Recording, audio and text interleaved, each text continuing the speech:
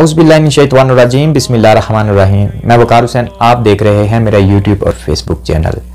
आज की मेरी बातें कुछ तलख, कुछ कड़वी हो सकती हैं, लेकिन हकीकत पर मुबनी है। 1400 साल पहले हक और सच को शहीद कर दिया गया।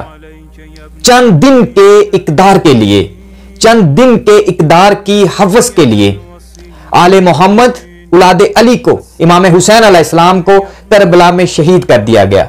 वो यजीद नापाक पलीत नहीं जानता था कि मैं चंद दिन के इकदार के लिए आले मोहम्मद को शहीद कर रहा हूँ। लेकिन शहीद करके इमाम हुसैन इस्लाम ता क्यामत ज़िंदा रहे, हुसैनियत ज़िंदा रही, हुसैन हमेशा से ज़िंदा हो गए और ज़िंदा रहेंगे, क्योंकि हर ज़ुबान पर हुसैनियत है।